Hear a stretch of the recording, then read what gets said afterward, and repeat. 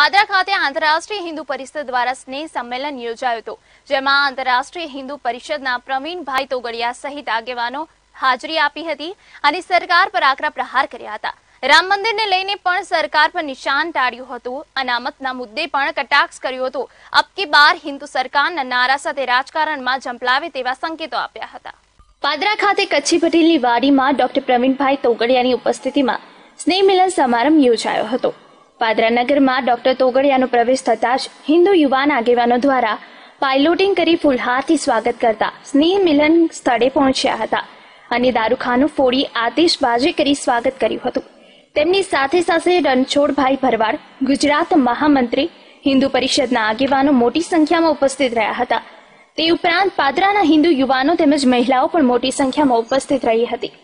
સરકાર રામ મંદિર ન બનાવે. ગૌહત્યા બંધ ન કરે. કાશ્મીરના હિન્દુઓને વસાવે નહીં. બાંગ્લાદેશીઓને હટાવે નહીં. યુવાનોને રોજગાર ન આપે. ખેડૂતોને દેવા મુક્ત ન કરે. એ સરકારને હિન્દુ સરકાર કહેવાય નહીં. હિન્દુઓને હવે હિન્દુ સરકારની જરૂરત છે.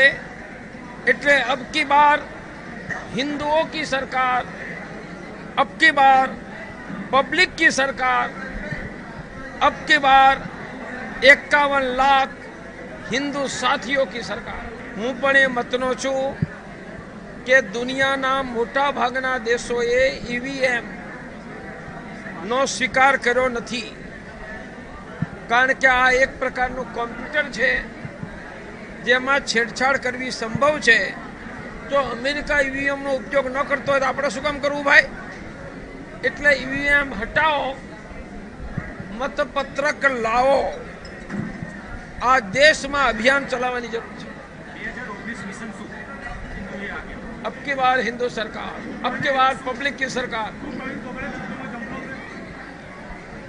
દેશનો હિન્દુ જંપલાવશે એટલું નક્કી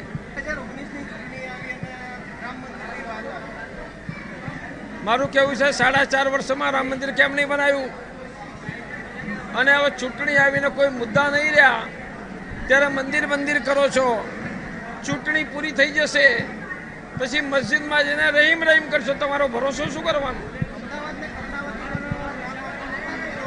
અરે ભાઈ, કરવું હોત તો અઠ્ઠાણુંમાં થઈ ગયું હોત. અઠ્ઠાણુંમાં એનડીએની સરકારને અહીંયા ભાજપની સરકાર હતી. અને નરેન્દ્ર મોદી મોદીએ બાર વર્ષ ગુજરાતમાં શાસન કર્યું. ત્યારે કર્ણાવતી કેમ નહીં કર્યું अब तो हिंदू ही आगे अब तो हिंदू ही आगे कोई हिंदू भूखा नहीं रहेगा स्वास्थ्य सभी को युवाओं को रोजगार महिला सुरक्षा स्वावलंबन बच्चे ही आगे और अब की बार हिंदू सरकार આ છ મુદ્દાઓ પર કામ થશે સ્નેહ સમારોહમાં સૌપ્રથમ દીપ પ્રાગટ્ય કરવામાં આવ્યું હતું. ત્યારબાદ આવેલા હિન્દુઓ દ્વારા પુષ્પગુંજ તેમજ તલવાર આપી અને સાલ ઉઢારી સ્વાગત કરવામાં આવ્યું હતું.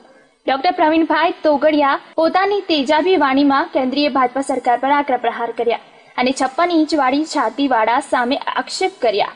બાદમાં જણાવ્યું હતું કે સિત્તેર એંસી વર્ષ બાદ હિન્દુ નહીં બચે. ભાજપા સરકારે સાડા ચાર વર્ષમાં કંઈ કર્યું નથી. હવે ચૂંટણી આવે એટલે રામ મંદિર બનાવવાની વાતો કરે છે. યુવાન અને રોજગારી, ગરીબો મુક્ત ભારત, દેવા મુક્ત ખેડૂત, રામ મંદિરનું નિર્માણ, કાશ્મીરમાં હિન્દુઓને ઘર વાપસી જેવા ખોટા કરેલા વાયદાઓ પૂરા કર્યા જ નહીં. નોટબંધી અને જીએસટીએ લોકોની નોકરી ઝૂંટવી લીધી. સાથે વધતી જતી લઘુમતીની વસ્તી સામે ચિંતા વ્યક્ત કરી. સિત્તેર વર્ષ બાદ હિન્દુ બચે નહીં તેમ જણાવ્યું હતું.